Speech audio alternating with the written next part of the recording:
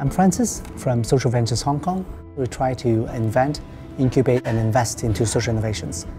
I grew up in Kwun Around there, um, we don't close doors. We come together and we support each other. We can redefine it. It's a new developing area. While you're making profit, you're doing good for yourself, you also think about how we can benefit the other people, uh, not just me, but we.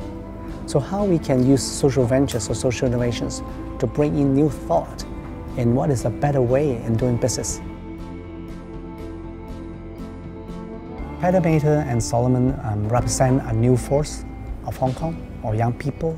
If uh, Kwun Tong can equip uh, these group of young peoples and young dreams, collectively I think there are new values that we can bring in. I think it's been three years since you started this social startup, right? Yes, yes, okay. almost three years. I am the co-founder of uh, Petameter, a social enterprise.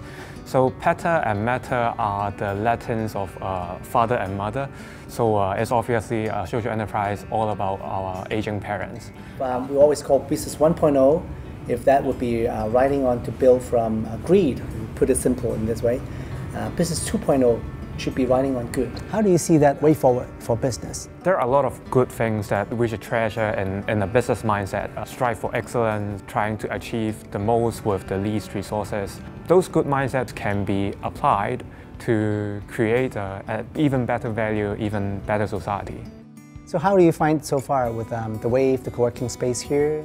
Having a community of uh, similar people doing startup or similar things is actually very helpful to us. Uh, having the spaces sometimes it means to have that possibility to try new things and in a new place for new audience.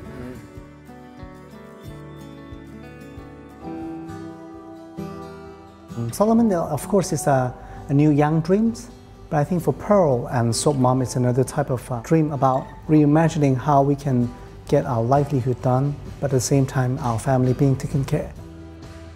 At the very beginning, our founder Pearl, she made the soap by herself. It's for her family, her kids, so that's why you, she used that name to be the brand. So office, we will off at 5.30, mm. and then for retail shop, it's 7.30. We'll have many um, slogan right here to remind our staff, nothing can be compete. So just try your best to do it and then on time to off, enjoy your family life and then tomorrow come back again.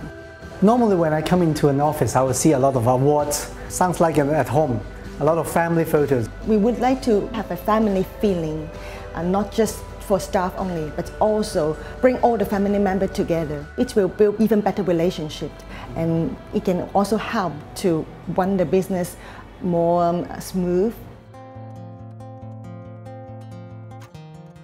So I think uh, when I'm reflecting on how a district can develop into a more people-friendly place, I think we don't just um, consider it as, a, as an alternative area that we can find cheaper rent, or we're just seeing how we can utilize this space to create more economic value.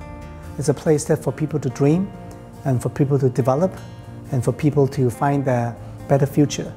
My dream is district.